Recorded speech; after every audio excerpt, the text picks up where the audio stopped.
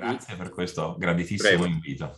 Benissimo, allora io non faccio altro che cedere la parola al professor Tommaso Montanari siamo tutti curiosi di ascoltare la sua conferenza. Grazie, buonasera. Grazie, è una bellissima occasione questa per me, eh, da poco rettore dell'Università per Stranieri di Siena, di incontrare eh, la comunità degli italiani in Turchia, di collaborare con la nostra ambasciata e con l'ambasciatore e di eh, parlare dell'Italia in una chiave che spero possa essere di interesse anche per chi guarda l'Italia eh, non isolata, eh, chiusa nella sua storia, ma per quello che la sua storia rappresenta, una storia di aperture, di commistioni, di dialoghi e di confronti in cui eh, noi stessi come italiani siamo forse eh, a volte non, non del tutto consapevoli del contributo che abbiamo dato su tanti fronti diversi da quelli che la retorica corrente eh, tende a rappresentare. E così succede che parliamo spesso eh, di creatività italiana, che naturalmente esiste, ma ci soffermiamo molto di meno, eh, quando, e lo dico da storico dell'arte, quando parliamo di patrimonio culturale, su quello che è stata la nostra plurisecolare eh, responsabilità il senso di responsabilità collettiva che l'Italia prima e direi meglio di molti altri paesi ha sviluppato nei confronti di una missione fondamentale, che è quella di trasmettere al futuro il proprio patrimonio culturale. Tutto quello che riguarda la storia della tutela, della conservazione e, come prova a dire il titolo della mia conferenza, l'idea di non vedersi come padroni, ma come tutori, come custodi di un patrimonio culturale da tramandare al domani. Eh, questo era vero eh, molti secoli fa, eh, molto prima che le parole eh, d'ordine come sostenibilità entrassero, vorrei dire meglio tardi che mai, nel lessico e nell'immaginario uh, collettivo, nel discorso pubblico. Nella lunga storia di patrimonio culturale, che, eh, nella lunga storia di un'idea, questa idea di patrimonio culturale che eh, nasce e si sviluppa proprio in Italia, anche se poi avrà la sua consacrazione definitiva eh, nella Francia rivoluzionaria, dove il concetto di patrimonio culturale viene associato all'idea di sovranità popolare. In questa lunga storia ci sono dei momenti eh, cruciali che sono quelli che hanno a che fare con le grandi crisi, con le grandi distruzioni del patrimonio.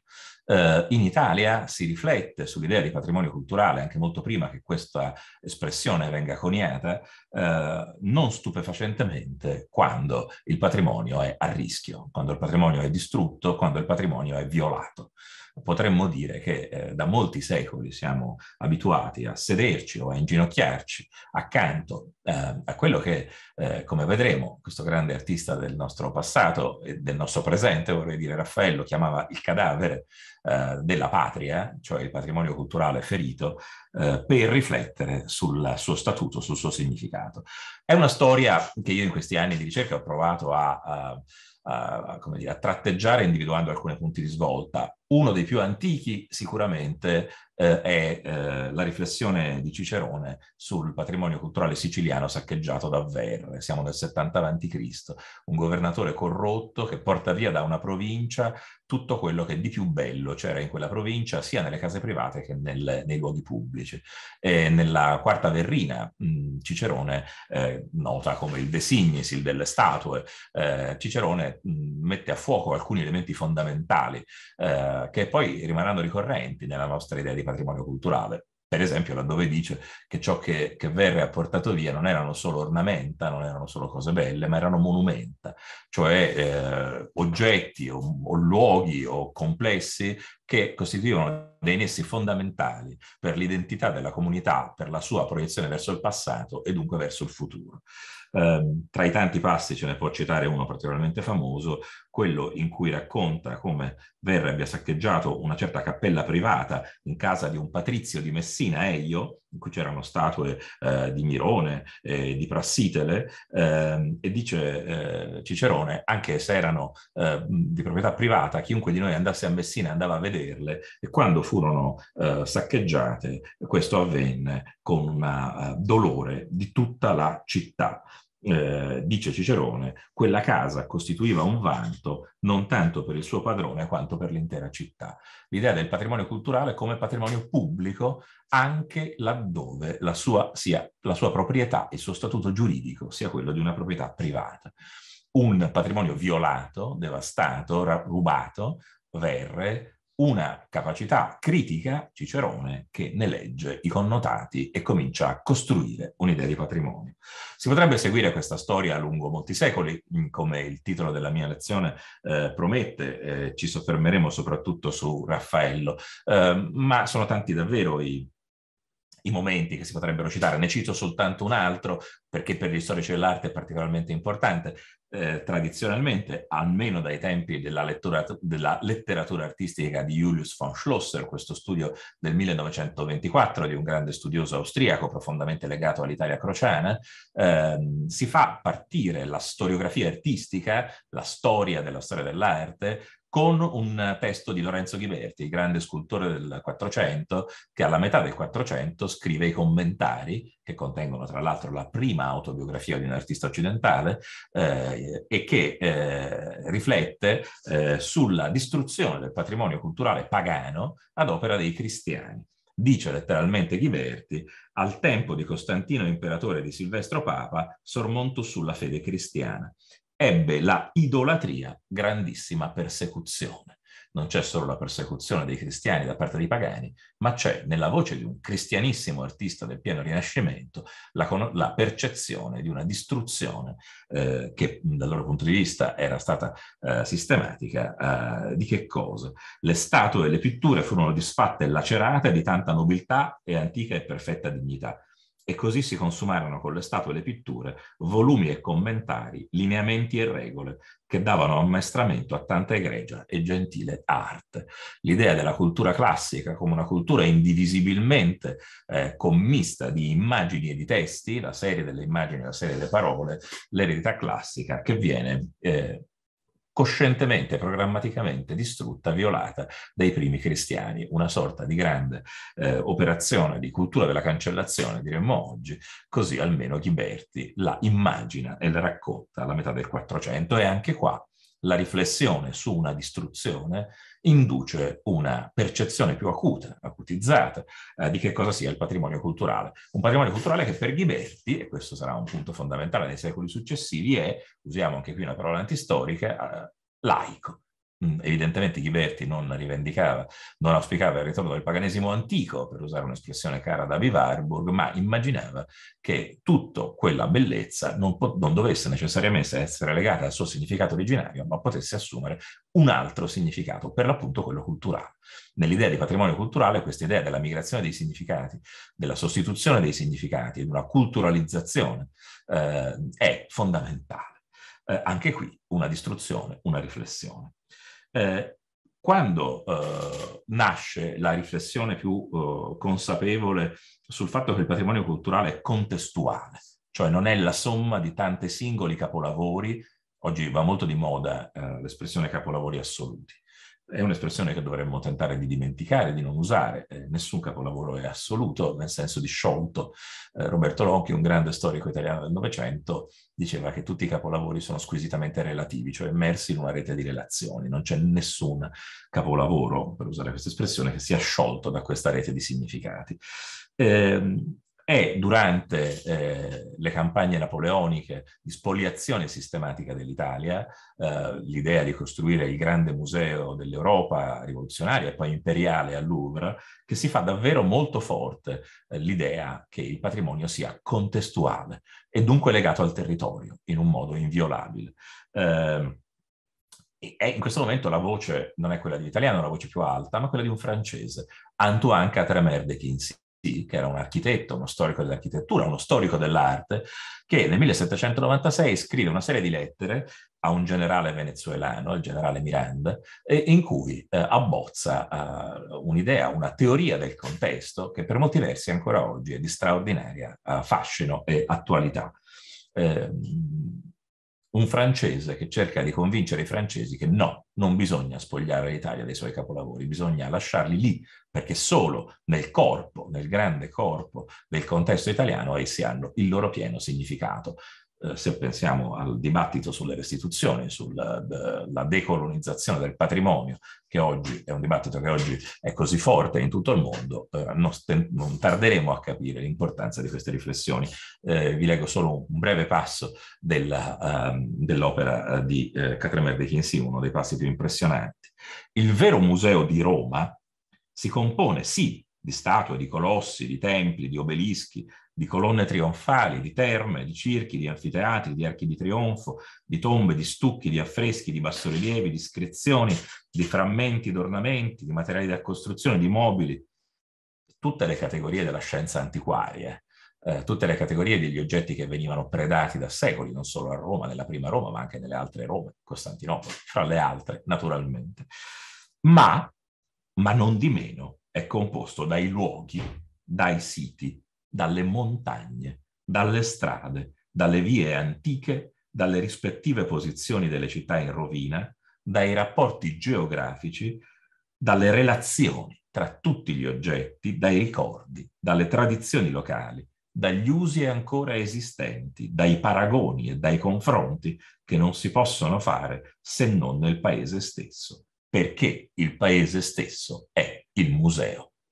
1796 una teoria del contesto davvero straordinariamente intelligente che arriva a delineare anche quello che oggi chiamiamo il patrimonio immateriale, così profondamente connesso al patrimonio materiale, così inseparabile, in una costruzione di un orizzonte di senso che restituisca il patrimonio ai cittadini tutti del nostro tempo. Catremer de Quincy, eh, vi faccio lezione, non l'ho detto all'inizio, faccio questa lezione non dal rettorato ma da casa mia, sono da casa mia a Firenze, sono momenti in cui ehm, anche in Italia cerchiamo di muoverci eh, il meno possibile a causa della, della, pandemia, ma è stato anche un modo per poter usare i miei libri e quindi non proiettare un PowerPoint, ma come si fa, come si faceva nelle lezioni di un tempo, maneggiare eh, eh fisicamente i libri eh, e anche a volte i libri vecchi, i libri originali. Questa, quella che vedete, un po' slegata, è eh, la traduzione italiana della monografia di Catremer de Quincy su Raffaello, eh, che eh, esce alla fine del Settecento e poi viene tradotta in italiano all'inizio dell'Ottocento. In questa monografia, eh, per la prima volta, eh, entra nella bibliografia raffaellesca, per usare ancora una volta una terminologia un po' antistorica, eh, la menzione di questa lettera. Eh, una lettera che Raffaello eh, aveva scritto a Leone X eh, nel 1519 e che trattava eh, della necessità di salvaguardare i monumenti antichi, eh, i monumenti antichi di Roma. Uh, un rapporto, una lettera, dice Catremer, o meglio, come si direbbe oggi da noi, un rapporto sulle antichità di Roma indirizzata a Leone X. L'idea che Raffaello avesse scritto una, un testo così importante per la tutela del patrimonio era eh, un'acquisizione recente. Catremer de Quincy cita, eh, una, eh, cita, la prima pubblicazione di questa lettera, che è contenuta eh, nel libro che vi mostro, eh, l'edizione delle opere di Baldassarre Castiglione del 1733, le, eh, le opere di questo grande letterato italiano del, del, del Cinquecento, del Rinascimento, che proprio alla fine, nelle ultime carte, dopo, fi- dopo che il volume era stato stampato, eh, aveva però fatto in tempo ad includere, proprio alla fine, come si vede, eh, questa lettera eh, a Leone X. Lettera non più stampata, cioè inedita, del conte Baldassare Castiglione a Papa Leone X, comunicataci dopo finito il volume dal signor Marchese Scipione Maffei, un grande antiquario di Verona, presso il quale si conservava. Dunque una lettera che riemergeva dagli archivi solo all'inizio del Settecento, 1733, ma che riemergeva come opera di Baldassarre Castiglione. Sarà soltanto pochi anni eh, prima del volume di Catremer de Quincy, nel 1799, che un eh, erudito uh, padovano che però uh, lavorava a Firenze, Daniele Francesconi, precettore di geometria e di fisica nel collegio di San Marco, uh, pubblica, tiene una conferenza e pubblica questo libro congettura che una lettera creduta di Baldassarre Castiglione sia di Raffaello da Urbino, in cui per la prima volta, con una serie di argomenti storici e filologici molto uh, puntuali, eh, restituisce questa lettera a uno dei più grandi artisti della nostra storia figurativa. E così un testo che per tutto il Settecento sostanzialmente aveva dormito nel retrobottega del cervello degli eruditi italiani, diventa un testo cruciale, fondamentale. Il solo fatto di essere di Raffaello accende la curiosità di tutta Europa.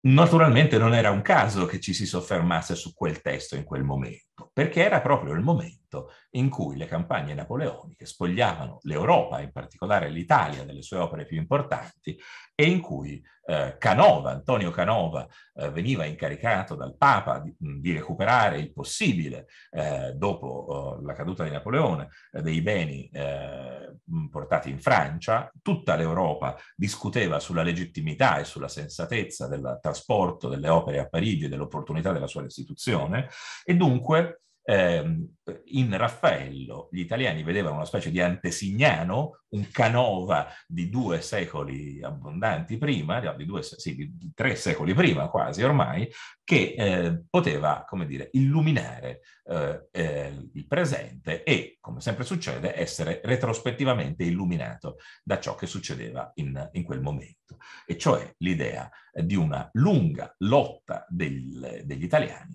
per il loro patrimonio culturale.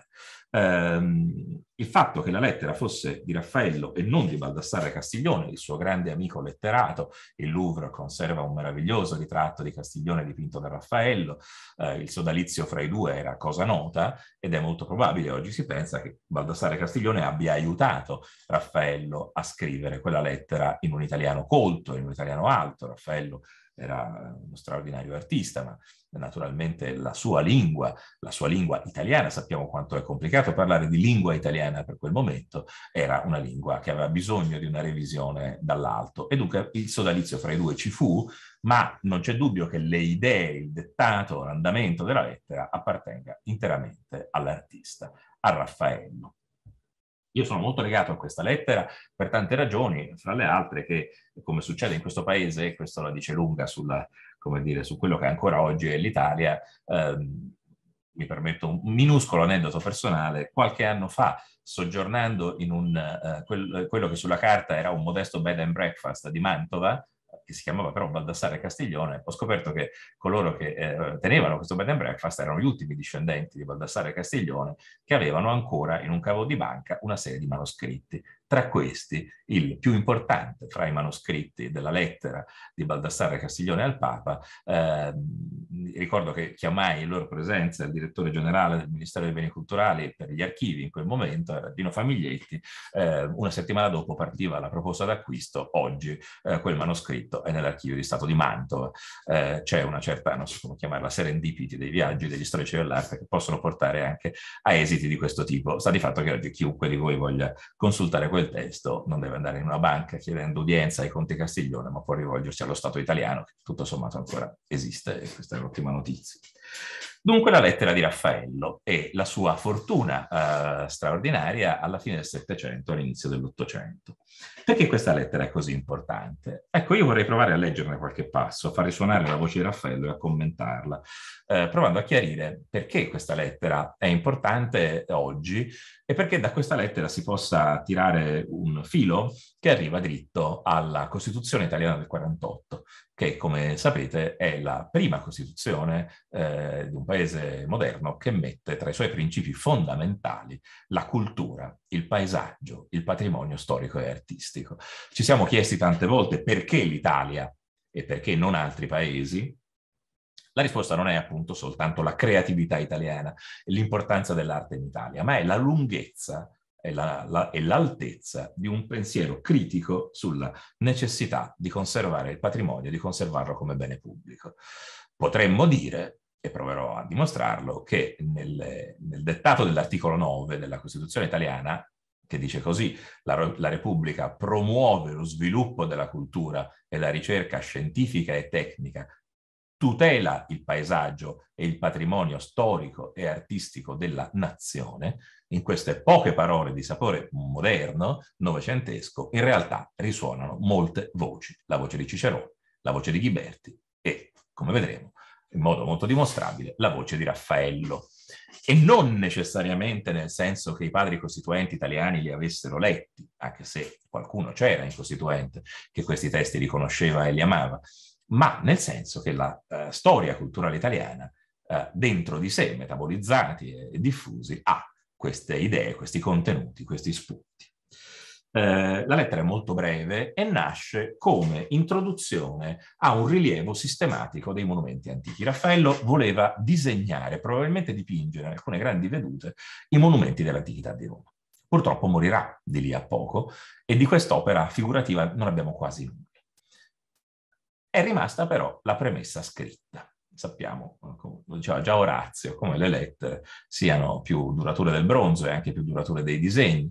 Eh, abbiamo questo testo, eh, che, un, che un, non è un testo rituale, non è la solita premessa o introduzione di dedica al Papa. È un testo molto coraggioso e molto irrituale, in cui un artista figurativo, un grande artista, si diceva che se non fosse morto peraltro, come si diceva nel Cinquecento, di disordini amorosi, il Papa l'avrebbe fatto cardinale, ci sarebbe stato un, Raffaello cardinale che sarebbe stato davvero un apax, un caso unico nella storia degli artisti italiani, eh, ma comunque un artista, che rimaneva sempre uno che lavorava con le mani, con tutti i pregiudizi umanistici del caso, eh, che si permette di dire al Papa che cosa deve o non deve fare. È una lettera in cui Raffaello emerge come un intellettuale a tutto tondo, con una fortissima coscienza di sé e della propria missione. Essendo, dice Raffaello, io stato assai studioso di queste antichità, eh, la rivendicazione di una conoscenza, ma anche di un amore, studium è anche amore, no?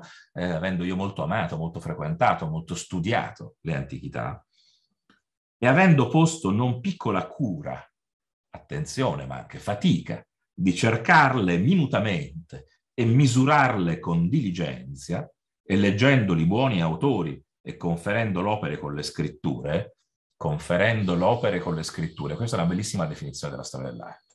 Lo storico dell'arte fa questo, mette in connessione la serie delle figure, delle immagini con la serie delle parole. Eh, la storia dell'arte è una disciplina umanistica, su questo Erwin Panofsky ha scritto uno straordinario saggio. Penso, avendo fatto tutto questo, aver conseguito qualche notizia dell'architettura antica. La rivendicazione di competenza, non solo figurativa, ma anche antiquaria, anche culturale, storica, in senso lato. Il che, la qualcosa, in un punto, contemporaneamente, mi dà grandissimo piacere per la cognizione di cosa tanto eccellente e grandissimo dolore, vedendo quasi il cadavere di quella nobile patria che è stata regina del mondo, così miseramente lacerato. Si capisce che Raffaello si è fatto aiutare da Baldassare Castiglione, c'è una eh, retorica molto alta, c'è una qualità letteraria notevole, e la figura ci impressiona molto. Il patrimonio culturale, diremmo oggi, lui avrebbe detto le antichità di Roma, sono il cadavere della patria, c'è una metafora politica. E c'è la descrizione di una sensazione che tutti noi proviamo ancora oggi, percorrendo l'Italia, e non solo l'Italia.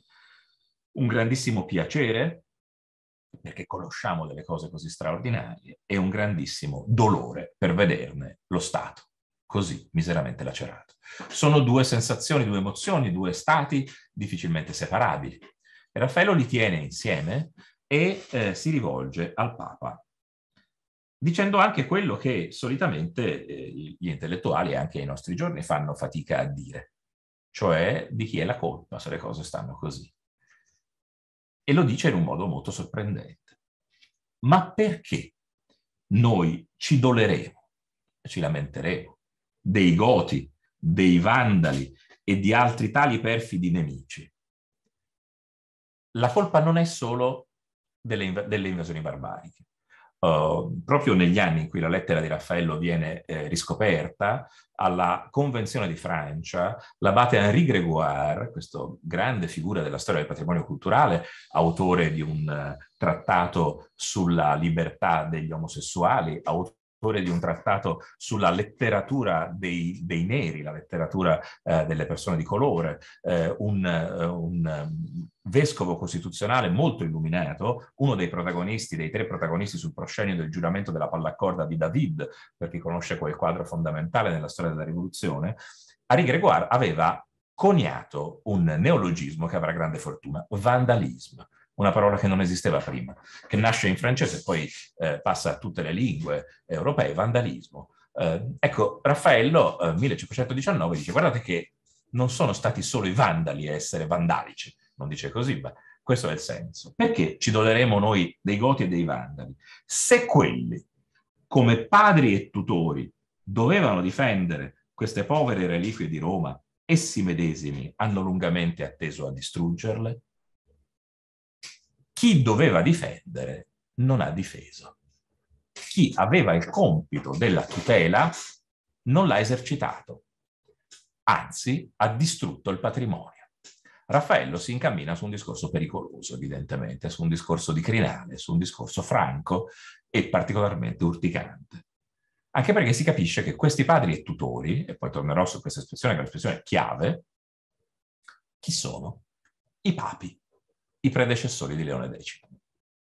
Quanti pontefici, Padre Santissimo, i quali avevano il medesimo ufficio che a vostra santità, ma non già il medesimo sapere né il medesimo valore e grandezza d'animo, Ricorda, ricordo che Leone X era Giovanni de' Medici, era il figlio di Lorenzo il Magnifico, eh, grandissimo mecenate, umanista, uomo colto, eh, amava ricordare che da bambino giocava uh, con Michelangelo che era di casa uh, a Palazzo Medici, si ricorda uh, una grande nevicata fiorentina in cui Michelangelo fece un pupazzo di neve nel cortile di Palazzo Medici, aiutato da Giovanni, il futuro Leone X. Questi, pa- questi predecessori, che erano papi come voi, ma non avevano la stessa cultura, parafraso, quanti, dico pontefici, hanno atteso a ruinare templi antichi, statue, archi e altri edifici gloriosi quanti hanno comportato che solamente per pigliar terra pozzolana siano si scavati fondamenti, onde in poco tempo poi gli edifici sono venuti a terra. Quanta calce si è fatta di statue e altri ornamenti antichi, che ardirei dire che tutta questa Roma nuova che ora si vede, quanto grande che ella si sia, quanto bella, quanto ornata di palazzi, chiese e altri edifici, tutta è fabbricata di calce, di marmi antichi. Non era una cosa facile da dire, soprattutto per un architetto. Vi ricordo che Raffaello era anche un grande architetto e che aveva avuto l'incarico di ripensare la San Pietro Costantiniana. Giulio II, predecessore di Leone, aveva preso la decisione gravissima di abbattere la Basilica Costantiniana di San Pietro e di ricostruirla in forme moderne. Il mentore di Raffaello, Bramante, era stato soprannominato Bramante ruinante perché aveva intrapreso la distruzione della basilica. E, Pie- e Raffaello, per il breve tratto della sua vita, poi interrotta appunto dalla, dalla sua precocissima scomparsa, aveva assunto questo compito. Ma in Raffaello il contatto con l'idea terribile eh, quella che Horst Bredekamp, storico dell'arte tedesco, ha definito, la, riprendendo una, de, una, definizione schumpeteriana, la distruzione creativa, eh, era qualcosa che ingenera nello stesso Raffaello una consapevolezza, una coscienza dell'imperativo della tutela. Potremmo dire che qui nasce il senso della tutela che l'età moderna eh, lascia poi alle epoche successive e nasce proprio nella coscienza di un grandissimo architetto che trovandosi chiamato a distruggere, eh, comincia a pensare che quella distruzione non sia necessaria. E lo dirà poco più avanti in un modo uh, struggente in questa stessa lettera. Raffaello dice la grande Roma rinascimentale, l'orgoglio delle ultime generazioni, generazioni che si sentivano pari agli antichi, eppure è stata fatta tutta di calce di marmi antichi. Abbiamo distrutto la Roma antica per costruire la Roma moderna. E, e, e, per la prima volta questo non viene presentato come motivo di orgoglio, ma come un terribile mea culpa, eh, una, una, sorta di eh, accusa collettiva. E Raffaello fa anche i nomi. Eh, né senza molta compassione posso io ricordarmi che poi che io sono in Roma, che ancora non è l'undicesimo anno, questo è uno dei passaggi che fa attribuire a Raffaello con sicurezza la lettera, perché parla in prima persona e dà elementi della cronologia della sua vita, sono state rovinate molte cose belle, come la meta che era nella via Alessandrina, l'arco malavventurato, tante colonne, templi, massime da Messer Bartolomeo della Rovere. E qui l'accusa è un'accusa precisa a un'importante figura legata a Giulio II della Rovere. Si va a, mette, a puntare il dito contro un uomo interno all'aristocrazia papale. E il Daniele Francesconi, nel momento in cui gli attribuisce la lettera, dice in questa bellissima conferenza del 1799 che Raffaello non tace per amore dell'antichità e della verità che è un'espressione che trovo bellissima, per amore dell'antichità e della verità, cioè l'erudizione che non è separabile dal movente civile dell'intellettuale pubblico che dice la verità assumendosene la responsabilità anche dicendola in faccia al Papa. Dunque un Raffaello molto diverso dai santini, diciamo, degli artisti rinascimentali, eh, come dire, obbedienti ai mecenati, docili strumenti di una committenza che li trascende, ma una soggettività critica dell'artista che viene fuori con una forza davvero importante. Eh, tra le parole che ho letto ce n'è una che eh, fa piuttosto impressione. Eh, Raffaello definisce i, i papi padri dell'antichità di Roma, poi naturalmente si corregge perché i papi non possono essere padri, essendo i padri della Roma repubblicana e gli imperatori, i papi sono venuti dopo. E infatti dice padri, anzi tutori. Ora, la scelta di questa parola tutore è una scelta gravida di conseguenze, perché tutore viene da tueor, eh, lo stesso verbo da cui viene tutela, che è la parola chiave dell'articolo 9 della Costituzione. Raffaello dice che i papi sono tutori. Il tutore nel diritto romano, ma ancora oggi, è colui che si prende cura di un bambino, di un minore che non ha più i genitori. Non come cosa propria, ma portandolo alla maggiore età nel più assoluto rispetto dei suoi beni e della sua integrità. Il tutore non è un padrone, il tutore non è un signore, il tutore è al servizio. Uh, questo dovrebbe essere così anche nelle nostre università. I tutori sono al servizio degli studenti, eh, non sono coloro che li comandano, sono coloro che li servono, che li accompagnano.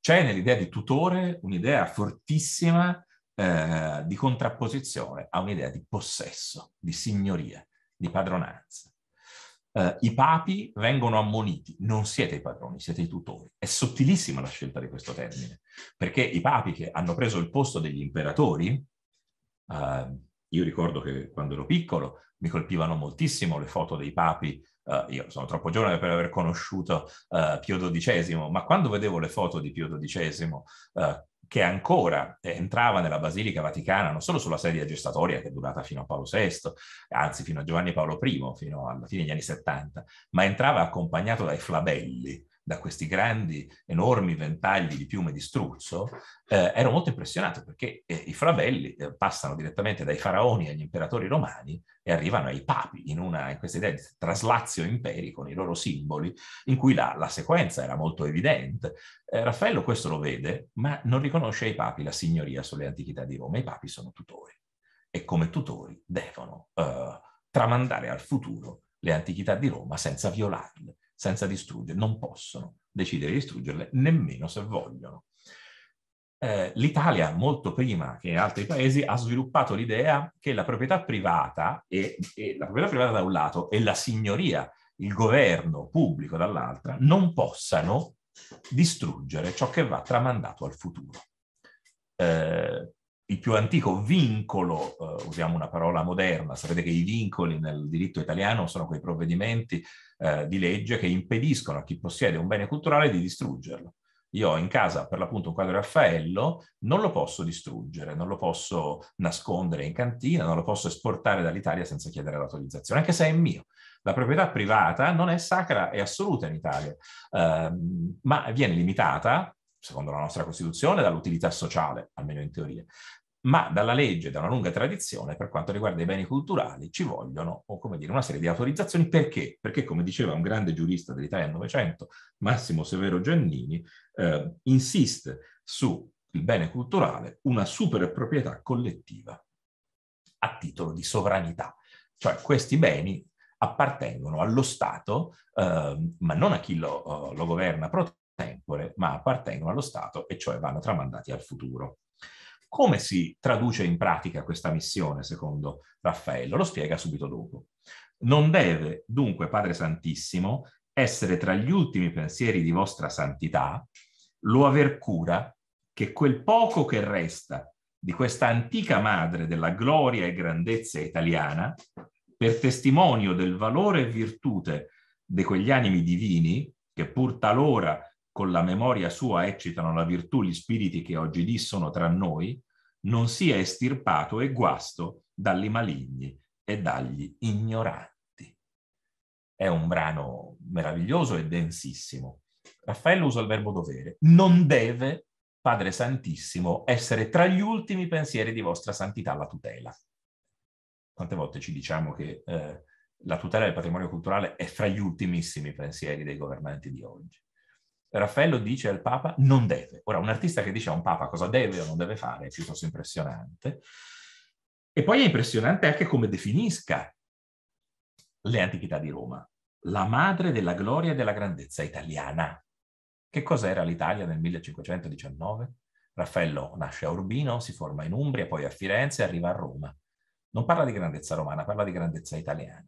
Proprio nel momento in cui la questione della lingua italiana, delle parole, è così importante? E alcuni amici intimi di Raffaello hanno un ruolo decisivo, il cardinale Pietro Bembo, per esempio, che con Raffaello andava in gita tra le antichità di Roma, eh, lo stesso Castiglione, nel momento in cui si parla, si teorizza, si discute sulla lingua italiana, questa operazione culturale geniale che costruisce una lingua eh, colta, che poi diventerà una lingua di tutti nel passare dei secoli, eh, che si basa gran, sulla grande lingua del Trecento, ma aperta de, di Dante, di Petrarca, di Boccaccio, ma aperta anche all'uso contemporaneo, all'italiano del Cinquecento, questa discussione sulla lingua delle parole investe anche la lingua delle figure, il patrimonio culturale. Eh, L'Italia che ha una madre nelle rovine di Roma. Eh, l'articolo 9 della Costituzione che citavo prima è l'unico fra i principi fondamentali, i 12 principi fondamentali della Costituzione italiana, che usi la parola nazione. In Italia, dopo il fascismo, non si pronunciava volentieri questa parola. In nome del nazionalismo, milioni di morti erano caduti in tutta Europa e il nazionalismo inteso come, eh, come dire, un, un, patriottismo cinico che contrapponeva le nazioni e risolveva col sangue il, il primato eh, era eh, bandito, non si poteva più parlare di nazionalismo. Um, io eh, ricordo che quando, un altro piccolo aneddoto personale, quando ero studente alla scuola normale di Pisa, ehm, venne a darci i diplomi il presidente della Repubblica Ciampi, che era stato normalista, eh, allievo di questa scuola pubblica di eccellenza fondata da Napoleone, per l'appunto a Pisa. Ehm, Ciampi era quello che aveva ricominciato a parlare di patria e di nazione e ci disse, beh, voi ragazzi penserete che io sia un vecchio trombone. E, e, noi in effetti un po' lo pensavamo e dunque sorridemmo un po'. E lui ci raccontò che quando era, aveva nostra età e fu data eh, alla mensa della normale la notizia che la Francia era caduta eh, sotto le truppe di Hitler, eh, le truppe naziste a cui noi ci eravamo alleati, gli italiani fascisti, ehm, ebbene Ciampi si alzò in piedi e cantò con alcune matricole della scuola normale la Marsigliese, cioè l'inno di Francia venendo espulso dalla scuola normale, il cui direttore in quel momento era Giovanni Gentile. Eh, e Ciampi ci disse, beh, la nostra idea di nazione non era l'idea fascista, la, naz- la nostra nazione in quel momento era la Francia, la nostra nazione era l'Inghilterra, la nostra idea di nazione era diversa, non era quella, quella lì. E, ehm, la Costituzione italiana, eh, che, eh, che, che, viene scritta fra il giugno del 46 e il gennaio del 48, usa la parola nazione solo nell'articolo 9, con cultura, ricerca, paesaggio e patrimonio, una nazione per via di cultura, non, per, non difesa dall'esercito, ma difesa eh, dalla sua stessa apertura culturale.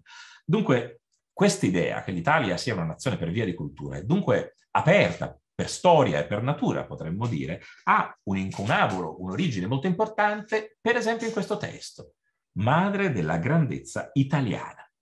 E poi Raffaello dice perché va tutelato, perché con il suo valore con la sua virtù, questo patrimonio eh, eccita alla virtù gli spiriti che oggi sono tra noi. Dunque un'idea di tutela non rivolta al passato, ma rivolta al futuro e non rivolta alla tutela degli oggetti in quanto tale, ma rivolta alla, lui dice, all'eccitazione degli spiriti. Il primo comma dell'articolo 9 della Costituzione dice promuove lo sviluppo della cultura, cioè il fatto che il patrimonio culturale si tutela perché produce conoscenza, attraverso che cosa? Attraverso il lavoro delle comunità della conoscenza, attraverso il lavoro delle ricercatrici e dei ricercatori, attraverso il lavoro di chi studia. Quindi un'idea di tutela per nulla statica, ma invece dinamica e rivolta alla produzione di conoscenze. Ehm, eh, eh, ancora pochi minuti. Eh, Raffaello continua dicendo che vostra santità deve cercare di lasciar vivo il paragone degli antichi, agguagliandoli e superandoli come ben fa con grandi edifici, esattamente come sparge il santissimo seme della pace tra i principi cristiani. Questo è un passo meraviglioso. Il Papa deve fare la pace fra il passato e il presente, come fa la pace fra i principi cristiani. Cioè deve lasciare vivo il paragone degli antichi e costruire bellissimi edifici moderni. Il sottotesto qual è? Non abbattere la vec- l'antica basilica paleocristiana di Costantino per costruirne una nuova, ma farne una nuova e lasciare il paragone, lasciarle entrambe. Un'idea di moderno che non si afferma a danno dell'antico, ma coabitando con l'antico. E l'idea di una pace fra il presente e il passato è un'idea che eh, anche qui la metafora, segue una metafora politica, cioè quella della pace fra le potenze cristiane. Nell'Assemblea Costituente italiana ehm, non si parla della lettera di Raffaello, ma naturalmente si dibatte moltissimo di patrimonio culturale e ehm, l'unico architetto, l'unico collega di Raffaello presente in Costituente non è un architetto importante come Raffaello, si chiamava Florestano di Fausto e non molti lo ricordano oggi, ma è interessante perché è l'unico deputato architetto, la Costituente, si batte moltissimo perché il patrimonio culturale entri nella Costituzione come poi succederà. E dice, noi non siamo i padroni, ma siamo i depositari e i consegnatari responsabili di così incomparabile tesoro. Questo patrimonio trascende il carattere nazionale per assurgere importanza mondiale e costituisce nel suo complesso il più alto contributo dello spirito all'umanità. Noi siamo i responsabili a nome di tutti. Questa idea di essere tutori, depositari, consegnatari e non padroni a nome di tutti risuona anche nell'Assemblea Costituente.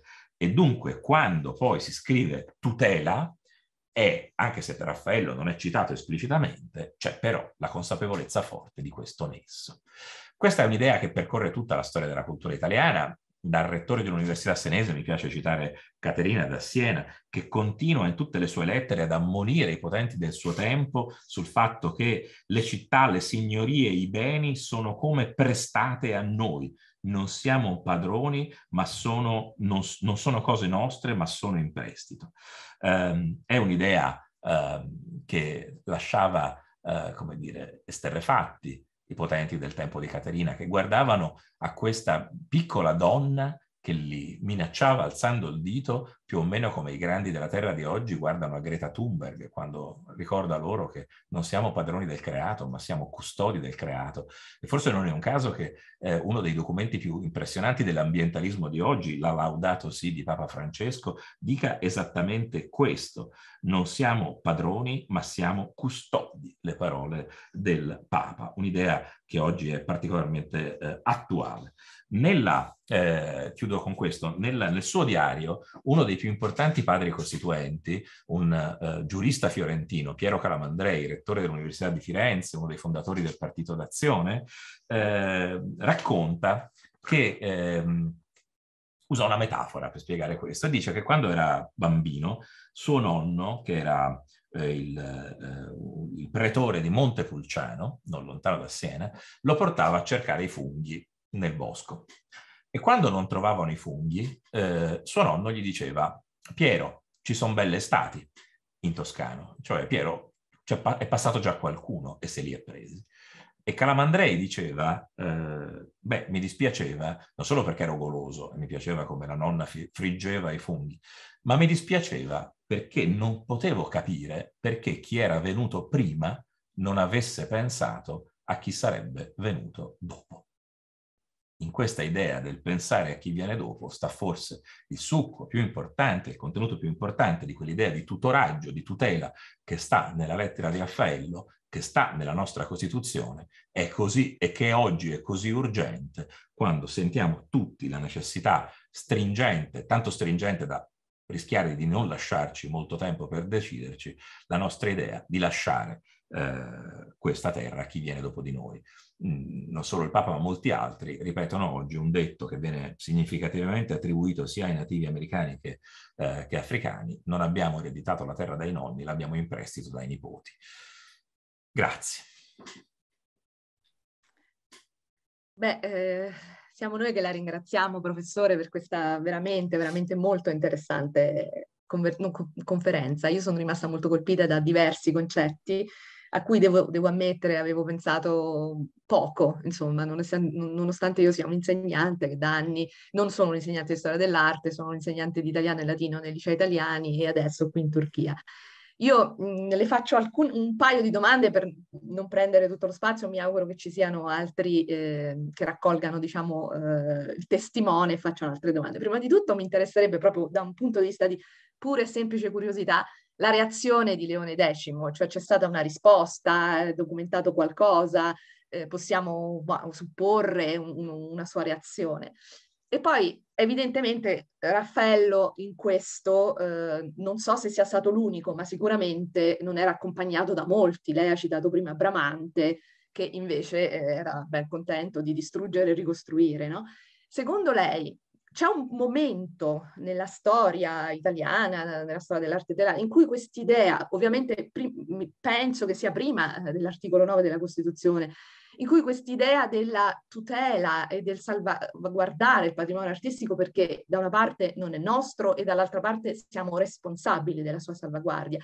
C'è un momento in cui questo si è affermato, cioè io penso a tante distruzioni che ci sono state, per esempio alla fine dell'Ottocento, lei di Firenze, insomma tutta la eh, Mercato Vecchio, ehm, piazza della, de, quella che si chiama Piazza della Repubblica, che ci sono insomma delle meravigliose foto, ma nessuno può vedere. Recentemente ho scoperto anche la, la, la distruzione, è, è, una mia colpa averla scoperto recentemente perché invece è datata, eh, del Palazzo Torlonia che si trova a Piazza Venezia, cioè tutte queste distruzioni molto recenti rispetto alla lettera di Raffaello. Quindi mi chiedo, quando è che a un certo punto abbiamo capito che quello che diceva, o perlomeno abbiamo avuto la sensibilità di, di, di, crederci, perché se c'è nella Costituzione evidentemente questa cosa si è diffusa. Ecco, quando è il momento in cui abbiamo capito quello che voleva dire Raffaello, secondo lei?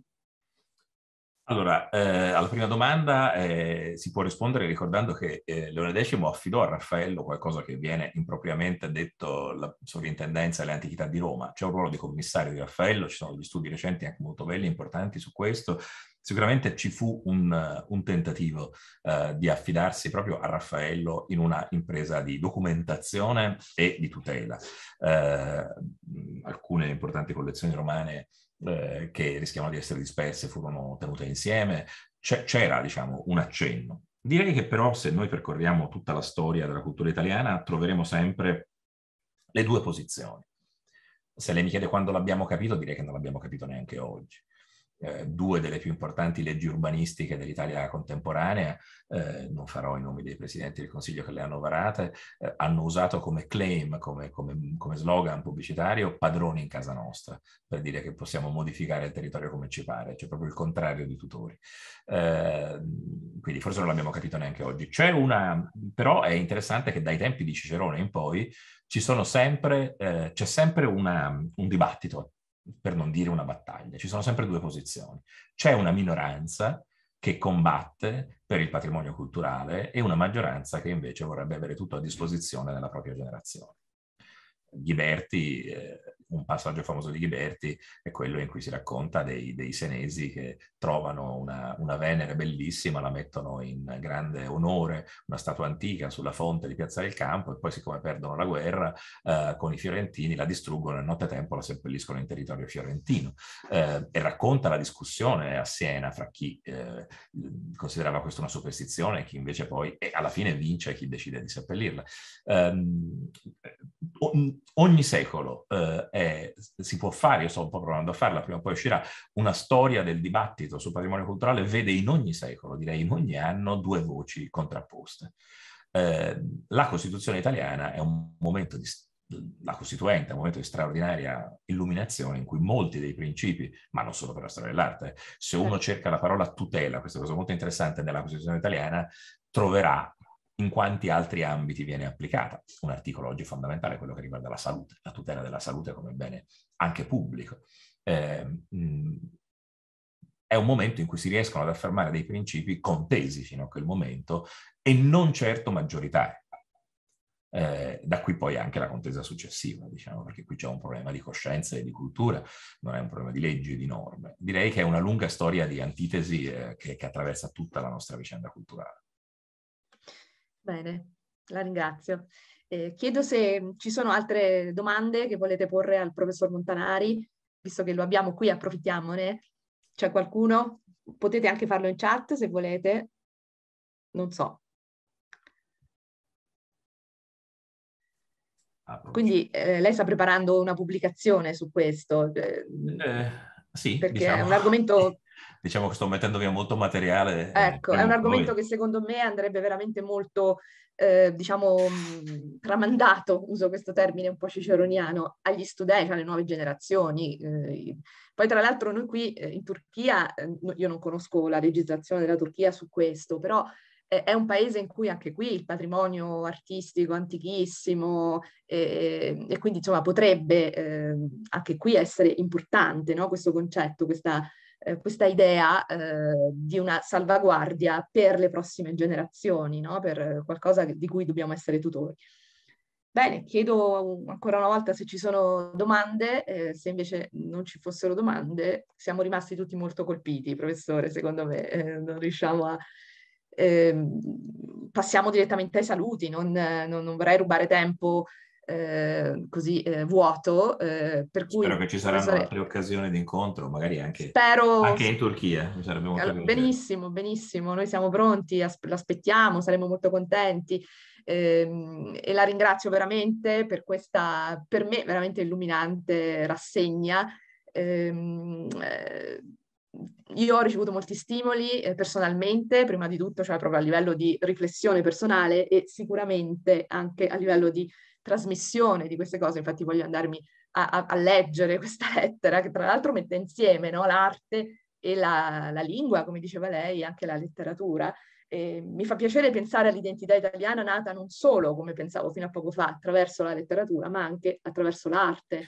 Eh, nel senso un, consapevolezza dell'identità italiana. Roberto Longhi diceva che la, la storia della critica d'arte eh, nasce nell'undicesimo canto del Purgatorio, dove, dove Dante parla certo. dei padri Giotto. della lingua, ma anche dei padri dell'arte, Giotto e Cimabue, intrecciati a Guinizelli e Cavalcanti, e lui certo. stesso, delle due lingue certo. degli italiani.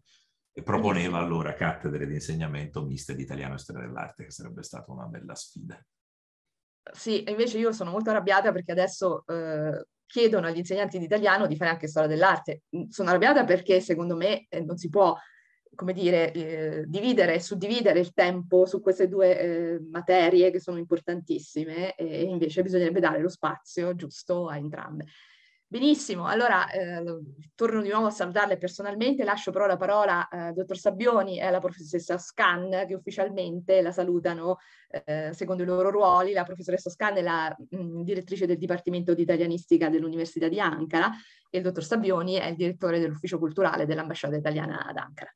Prego. Professor Montanari, la ringraziamo molto per questo interessante intervento e vorremmo proprio vederla qui eh, ad Ankara quando avrà un momento di tempo. So che è occupatissimo, ma ci farebbe piacere ospitarla qui e vedere con lei ecco, tutto quello che abbiamo qui di greco, di romano eh, della cultura bizantina che credo che le interesserà vedere di persona. Non so se c'è stato prima in Turchia, ma ci farebbe gran piacere averla qui eh, alla primissima occasione. Eh, lo prometto, verrò, sono molto felice di venire. Grazie. La invitiamo anche noi come ambasciata e anche con il direttore dell'Istituto di Cultura di Istanbul, che oggi purtroppo col Covid non, non è potuto essere qui. E grazie mille, eh, rettore, professore, per eh, per questa interessantissima lezione anche dalla, dall'ambasciata e grazie. grazie. anche per i corsi di lingua italiana eh, che abbiamo organizzato insomma con voi eh, e con la professoressa Machetti e speriamo appunto di vederci presto di nuovo. sarà, sarà, un piacere. Per noi la Turchia è proprio come dire, un, un luogo strategico di, di lavoro e di, e, e, e di, amore per molti versi, per cui insomma ci rivedremo. Benissimo, Grazie io voglio anche... una domanda. Ti prego, non so chi ha parlato. Sulla, sì, sulla chat c'è una domanda. Ah sì, vediamo. Ringrazio il professore per lo splendido intervento. Una domanda per il professore. La lettera di Raffaello ha suscitato polemiche a Roma? No, perché Raffaello è morto e la sua fortuna poi è stata una fortuna appunto carsica. Eh, è interessante che venga fuori e la si riattribuisca a lui appunto alla fine del Settecento, negli anni tremendi di Napoleone, quando c'era bisogno di una voce autorevole eh, in questo gioco di specchi che è tipico della cultura italiana, no? per cui eh, siamo abituati a parlare del presente attraverso il passato, ricordiamo i Promessi Sposi e tanti altri casi analoghi, nel momento in cui c'era bisogno di difendere eh, l'Italia, eh, c'era un grandissimo artista come Antonio Canova, incaricato dal Papa di recuperare le opere d'arte, ris- risorge il fantasma di questa lettera di Raffaello. Mm-hmm. Quindi è una storia di, di, di dialogo e come dire di specchi, ma non ci fu una polemica e forse non, non ci poteva neanche essere in quel momento in questi termini. Eh, certamente è interessante vedere, per esempio, io sto provando a farlo per il secolo che studio, soprattutto il Seicento, come si sviluppa questo dibattito e se si fanno, se si interrogano i documenti, da questo punto di vista, cosa che non si è mai fatta, emerge un'enorme quantità di dispute sul patrimonio culturale. I papi del barocco che costantemente provano a distruggere il patrimonio antico in favore di quello moderno e una reazione, una difesa molto interessante da, punto, da, da parte di alcuni intellettuali e alcuni artisti eh, intrecciata anche altri aspetti tipicamente italiani, cioè la cultura per esempio municipale dei comuni. Il Campidoglio, il comune di Roma che si oppone al Papa perché le antichità si consideravano di proprietà del popolo romano e non per caso nel Settecento il primo museo pubblico del mondo nasce in Campidoglio. Quindi è una storia in cui la polemica non è mai diretta come oggi, non, non, non, siamo su Twitter, ma è una polemica che nel corso dei secoli in un gioco di specchi viene fuori, invece si può far parlare. Bene, allora io mh, concludo, saluto anche tutti i convenuti, eh, ricordo semplicemente che la, la, la, conversazione del professor Montanari sarà registrata, cioè eh, no, è stata registrata e sarà eh, divulgata sul canale YouTube sia dell'ambasciata che dell'università, così avremo modo di ripensarla, di rivederla eh, e, no, e di non dimenticarla. Ringrazio di nuovo tutti e vi auguro una buona serata. Grazie, buona serata a tutti. Buona serata.